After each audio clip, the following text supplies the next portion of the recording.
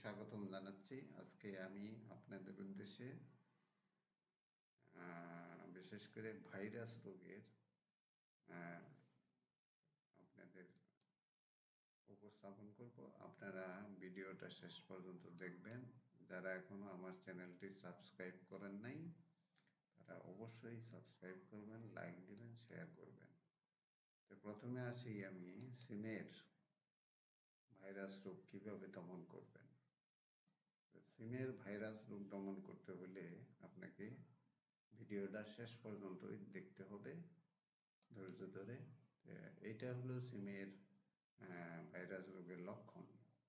যে পাতা এরকম হলদে এবং সবুজের মিশ্রণ দেখা যাবে, অর্থাৎ মোজাইক এবং মাছায় বা সিমের বাগানে এরকম হলুদ এবং সবুজের মিশ্রণ বা মোজাইক আপনারা দেখতে এই রোগের ফলে সিম মারাত্মকভাবে উৎপাদন ব্যাহত হয় এবং অনেক সময় ফলন নাই বললেই চলে।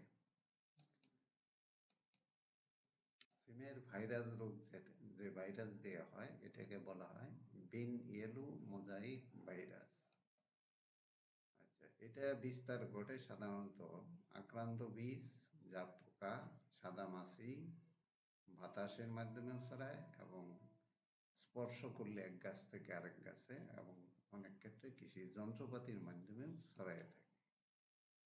আপনারা এই রোগটা দমন করতে হলে যে ব্যবস্থা নেবেন, প্রথমত রোগমুক্ত বীজ ব্যবহার করতে হবে। বালাই সহনশীল জাত ব্যবহার করতে হবে। বারিসিম চার, পাঁচ, ছয়, সাত, আট এই জাতগুলো ভাইরাস কম হয়। আপনারা এই জাতগুলো ব্যবহার করতে রোগাক্রান্ত গাছ বা পাতা তুলে ফেলতে হবে এবং এটা পুড়িয়ে ধ্বংস করে দিতে হবে।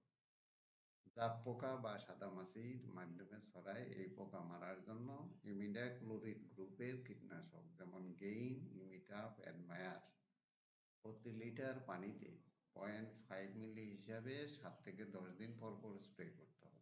এছাড়া নিম তেল ও টিক্স পাঁচ এম এল পাঁচ এম এল করে পার লিটার পানিতে মিশিয়ে আপনারা স্প্রে করতে পারেন। ধন্যবাদ সবাইকে।